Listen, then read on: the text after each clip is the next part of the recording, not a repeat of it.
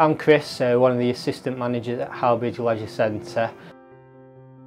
So I think it was about 10, 10 to 11. Uh, I was behind reception and the gym alarm went off as we ran into the gym. Um, one of our gym members who's a regular had collapsed and was in between the cross trainer, between myself and a couple of other members of the public who was using the gym. We managed to get under his arms and, and pull, pull him out.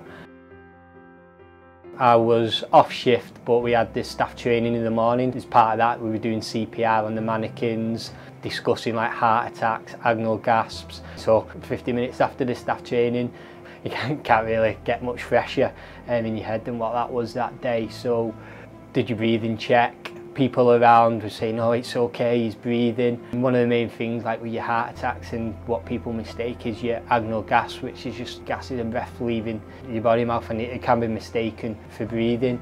Luckily, for myself and the gym member, given all the training I've had and experience in the past, we was able to quickly recognise that that wasn't the normal breathing and they obviously commenced CPR. Following the alarm going off, two other members of staff come up Um, so the defibrillator was put on and then between the three of us we worked as a team, delivering compression, delivering breaths and waiting for the shocks. They tend to say every minute that passes you get 10% less chance of survival. On that day, unfortunately, because of the weather, it took nearly 16 minutes for the ambulance to get here. Fortunately now, we all have defibrillators at our sites, at every leisure centre we do in around our facilities. By just doing the CPR, the compressions and the breaths, you can't bring anybody back, back to life that you've got to have that defibrillator